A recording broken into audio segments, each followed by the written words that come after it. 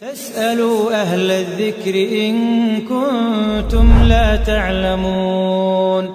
تقول إنها آه، رمضان الماضي لم تستطع أن تصوم بسبب مشكلة أو آه، مشكلة في الكلى.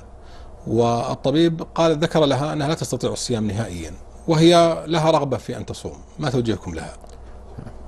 هذا السؤال من الأخت الكريمة يتعلق به عدد من الجزئيات.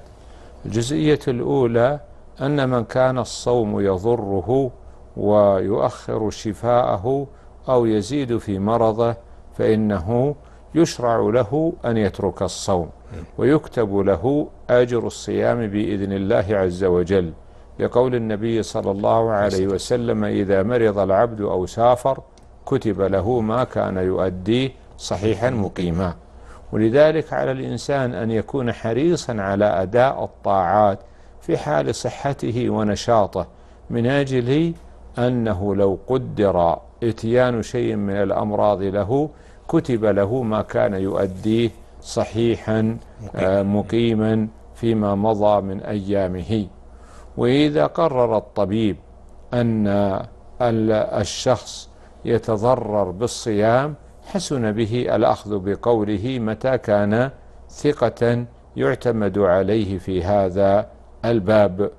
وهو أولى من كونه يصوم وقد يضعف بدنه ويعجزه عن أداء عبادات أخرى. ومن منع من الصيام في شهر رمضان فليس معناه أن, أن ينقطع عن بقية العبادات سواء من قيام رمضان أو قراءة القرآن أو الدعاء والذكر أو نحو ذلك من العبادات والاعتكاف ونحوه. وذلك أن هذا الشخص إنما منع من الصوم لكونه يلحق ضررا ببدنه. فأما بقية الأعمال التي يتأكد فعلها في شهر رمضان فإنها لا لا يمنع منها. ويضاعف له أجرها متى أداها في هذا الشهر الجزيل. فالمقصود أن مضاعفة الأجور والثواب في شهر رمضان ليست مختصة بالصائمين بل من كان مفطرا لعذر شرعي فإنه يدخل في الأحاديث الدالة على تضعيف ثواب العمل الصالح في شهر رمضان. ولو قدر أن الإنسان أفطر فإنه يسأل إن كان مرضه الذي أفطر من أجله يظن بقاؤه وعدم انقطاعه فإنه يطعم عن كل يوم مسكينا.